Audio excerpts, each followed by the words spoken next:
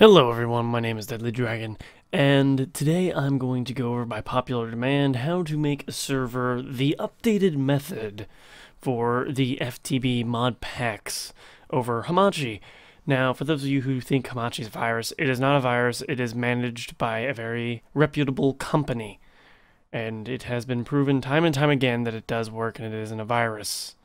So, without further ado, let's go ahead and decide what mod pack we're going to use. You, you're going to go up to this link. I'll put a card up so even the tablets and phones can still look at this link. It's going to be www.feedthebeast.com slash modpacks, and it'll be under this servers here. We're going to download servers. It'll bring you to the mod packs. And then all you have to do is go to your mod pack of choice. So, after that, you're going to go to the server download down here on the left hand side. You're going to usually want to pick the green one because that's the most up to date. Um, well, most stable, correction, not most up to date. The most up to date would be 1.6, but we're going with 1.5. I've already downloaded it, so we're going to go ahead and create a folder here. I always recommend creating a folder somewhere. Maybe if you have multiple hard drives, I wouldn't recommend putting it on the hard drive you're going to be playing on, because then it causes more stress for the CPU. So you have a you, you don't have to have another server, or uh, sorry, you don't have to have another hard drive for this to actually work, but it is more recommended. That way you're not running your server off of your C drive and playing off of your C drive at the same time. That can be quite of a hassle to your CPU, even if you have an SSD. So we're going to name this server tutorial. And then we're going to go ahead and go to our downloads here. And show in folder. And we're going to extract our files. And we're going to extract it here. Okay. I'm using WinRAR to extract my files as well, by the way. So you're just going to wait for all that to extract. And then here's what you're going to do. You want to make sure you have the most up-to-date Java, of course. And then you're going to notice ftb install.bat and server start.bat. You're going to want to click on the ftb install.bat first. Allow it to run. It'll download some files for you and then that's done. FTB is configured to work. Your next up, you're going to want to go to this eula.txt file. And I'm going to edit it with Notepad++. You can edit it with something else, but this is just a nicer way of looking at it. You're going to see EULA equals false. This is called a Boolean string, which is just true or false. You're going to change that from false to true, Control S to save. And we can get rid of that. Next up, you're going to want to start your server for the very first time. You're going to get your command prompt here, and it's going to basically create a dummy world. You're going to want to create a world with your own um, settings and such, of course, but this is just to get you started. Just start the server before you do any config or anything else like that. Now it's preparing our spawn area, basically generating some of the spawn area terrain. Okay, it appears that our server has officially loaded all the files, so what you're going to type in here is you're just going to click type in stop. That is the proper way to shut down your server, and then it's going to say press any key to continue, and it's going to close down.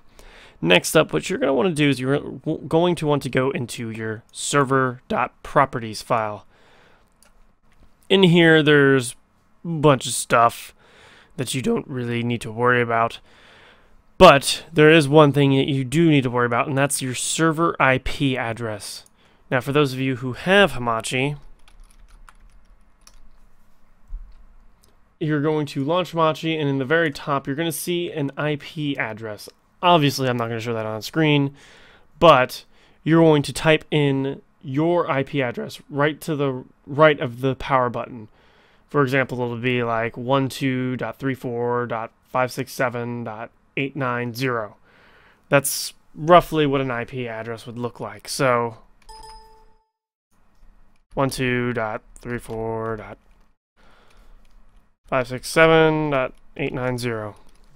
567.890. That would be a valid IP address to put in. You're going to put in your IP address here because that's the port, that's the IP that is going to forward all the server data to, and that's the, that's how everyone else is going to be able to join you. Next, you're going to, if you want, set a, a whitelist. Although whenever you're doing Hamachi in the first place, you it's pretty much its own whitelist because you're going to add a password of your own. You're going to have a name of your own. It's something you don't really have to worry about. But just in case if someone does get a, a hold of your information, it's always nice to be able to have that whitelist option. And also you can see that there's a couple other settings in here, like your difficulty setting, your command block setting, game mode, uh, idle timeout, the maximum players. I genu generally set this to how many people I'm going to be playing with at the time. And then you have the message of the day. So you can set this to whatever you want, like this is just a test. And then spawn monsters, stuff like that. Generator settings, OP permissions, allow nether, level name. You want to change this to whatever you want so it generates a new world. So I'm just going to say same thing. This is just a test. And level type, I would recommend setting this to biomes OP. That's the biomes of plenty um, level generator tag. And then also you're going to enable the level seed. So this is genuinely whatever you want. This is not a test. Wait a minute. This is just a test. There we go. That's genuinely what I'm going to be setting this whole thing for. Um, game mode, you can set that to whatever you want. Um, but after that, you can go ahead and Control S to save and that is done. And all the other config files are in here for each individual mod, say if you want to disable some things or enable some extra settings. But we're not going to mess with that. That's going to be on your own end. Now, finally, our final step is either go into your whitelist and set some things up, or just do the server start.bat. That is going to be your basically your um, .exe to start it. And there's another trick that I could show you here really quick. If you want, you can make this a clickable link that we're just going to create a shortcut to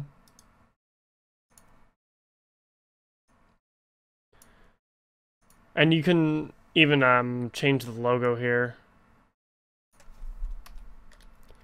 so server start and now that's a clickable link that will just automatically start your server up.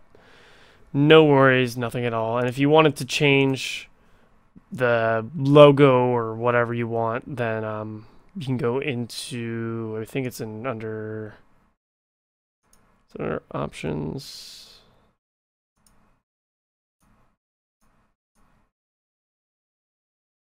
Ah, it's under shortcut, and you're going to go to change icon and you're going to specify basically that looks kind of like a server apply okay. So now that's the logo for your server start and you can click on that and it'll run this. And it appears we had an error whenever we did that. I'm not quite sure what the error was but let's go ahead and run it once again maybe.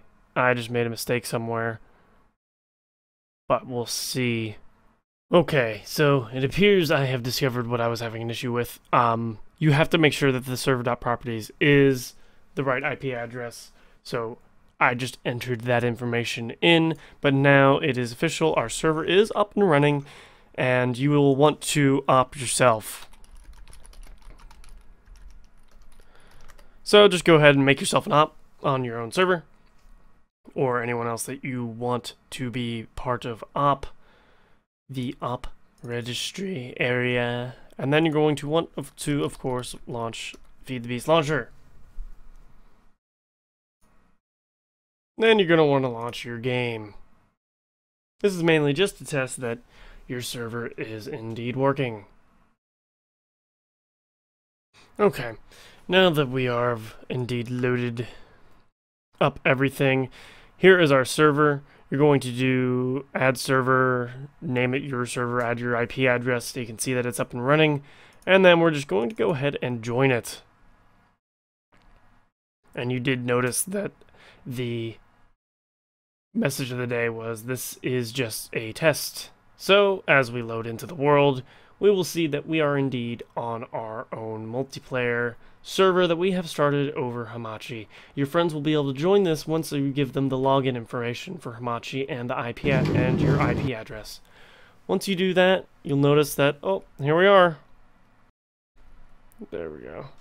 Sorry about the lag, as I am doing what I shouldn't be doing, and running the game and playing it off of the same location, which is never a good idea as it will result in lower frames, and if you're trying to record, it'll result in poor gameplay for the other people on your server.